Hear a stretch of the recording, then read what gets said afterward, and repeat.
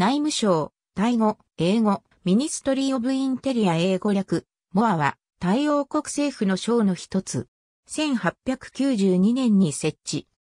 内務省は、幅広い分野の国民の社会生活に関わる分野、特に警察、地方行政、治安維持、市民権、災害管理、土地管理計画、国民証の発行、公共事業などに様々な責任を負う。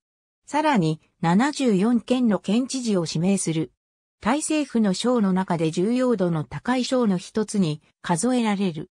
内閣の閣僚である内務大臣が省の長となる。ダムロン・ラーチャーヌパープ親王の像内務省庁舎前、内務省が現在の省としての形で設置されたのはラーマ5世の着理改革による。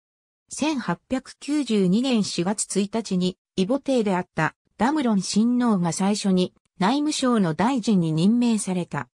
当時、省は3つの局に分かれており、中央内務局、大語は総務を、北辺内務局は治安維持と観察を、パラムパン局は地方行政を担当していた。